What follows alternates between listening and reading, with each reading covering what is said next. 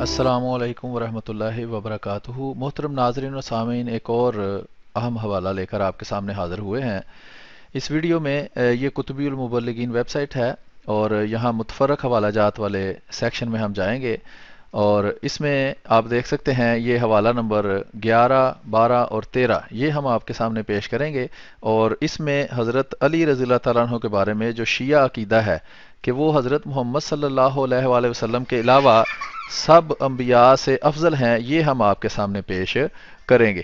تو آئیے آگے دیکھتے ہیں کہ حوالہ کے اندر کیا لکھا ہے۔ تو سب سے پہلے ہم پہلا حوالہ کھولتے ہیں، یہ آپ دیکھ سکتے ہیں۔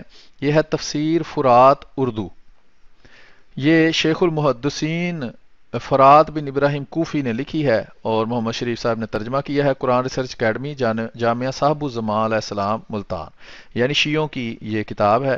یہ اس کے وہ ایڈیشن والا پیج آپ دیکھ سکتے ہیں۔ اس کے صفحہ نمبر چار سو دس پر یہ لکھا ہوا ہے۔ یہ آپ دیکھ سکتے ہیں کہ کہتے ہیں کہ امام محمد باقر علیہ السلام سے روایت ہے کہ جو لوگ، وہ لوگ جو اپنے جو ایمان لائے اور اچھے عمل کیے، وہ تمام مخلوق سے اچھے ہیں۔ خدا کی قسم تمام علی تمام مخلوق سے اچھے ہیں، رسول اللہ صلی اللہ علیہ وسلم کے بعد۔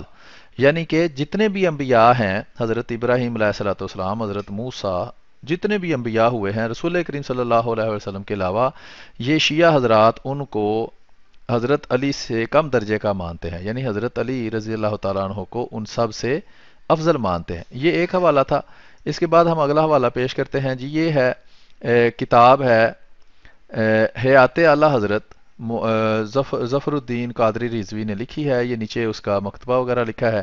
یہ اس کا ایڈیشن والا پیج ہے۔ اس کے صفحہ نمبر تین سو چھبیس پر ہم چلتے ہیں۔ وہاں آپ دیکھ سکتے ہیں کہ لکھا ہے، ہر زمانے میں ایک غوث کی حکمرانی۔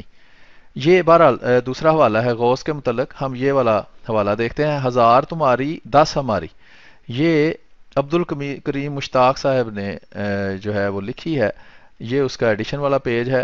یہاں دیکھیں، لکھا ہے، کیا جمی انبیاء، صفحہ نمبر بتیس، کیا جمی انبیاء علیہ السلام کی امتوں کے ائمہ صرف یہی ہیں اور قیامت کے دن سب کو ان کی طرف منسوب کر کے بلایا جائے گا؟ کیا اس کا ثبوت متفقہ طور پر اہل سنت اور اہل تشیع کی کتابوں میں موجود ہے؟ اگر پیش ہے تو پیش کریں۔ لکھا ہے، ہمارے ائمہ اسنا اشرا صلاۃ اللہ علیہم، نہ صرف آدم تا عیسیٰ علیہ السلام کی امتوں کے امام ہے بلکہ حضور صلی اللہ علیہ وآلہ وسلم کے علاوہ تمام نبیوں کے بھی امام ہیں۔ تو یہ آپ دیکھ سکتے ہیں کہ وہ کہتے ہیں، نہ صرف امتوں کے امام ہیں، بلکہ رسول کریم صلی اللہ علیہ وآلہ وسلم کے علاوہ تمام نبیوں کے بھی امام ہیں۔ آگے صفحہ نمبر تینتیس میں لکھا ہے کہ بالکل کوئی حد تک نہیں، کیونکہ خود انبیاء اپنے مساق کے مطابق ائمہ معصومان کی امامت کو تسلیم کرتے ہیں۔ یہ ہو گیا جی۔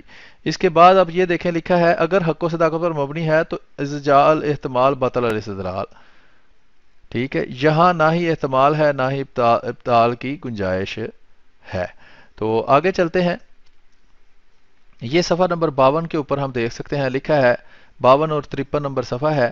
لکھا ہے، ہمارے اعتقاد کے مطابق بلا شبہ حضرت علی علیہ السلام حضور صلی اللہ علیہ وسلم کے علاوہ جمی انبیاء سے افضل ہیں اور ولایت کا درجہ بے شک نبوت سے زیادہ ہے۔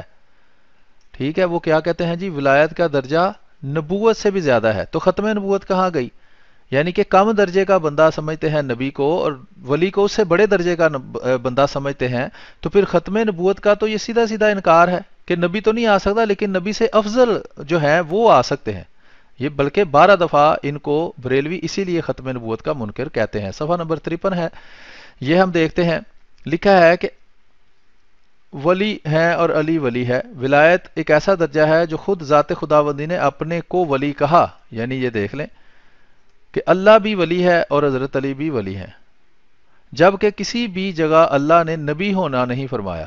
یعنی اللہ اپنے آپ کو نبی تو نہیں کہتا، لیکن ولی کہتا ہے۔ اس کا مطلب ہے کہ ولی کا درجہ علی نبی سے بڑا ہے۔ بہرحال جو بھی اس کی دلیل دیتے ہیں، لیکن عقیدہ ان کا میں آپ کو بتا رہا ہوں۔ قرآن مجید میں ایک ہی مرتبہ ولایت کا ذکر ہے، جس کی تشریح میں نے اپنی کتاب علی ولی اللہ میں کر دی ہے۔ پھر ہے جی ثلاثہ کی خلافت کو مانیں گے تو آپ کے زوم کے مطابق یہ سب حضور صلی اللہ علیہ وسلم کے برابر ہو گئے، جبکہ یہ سراسر غلط ہے۔ حضور صلی اللہ علیہ وسلم اپنے مقام پر ولی ہیں یعنی صاحب اختیار ہیں۔ ولی کا کیا مطلب بتاتے ہیں؟ جی صاحب اختیار۔ اور ان کے ربیب جناب علی رضا اپنے مقام پر ولی الامر ہیں۔ ٹھیک ہے؟ تو یہ دکھانا مقصود تھا کہ ان کے مطابق جو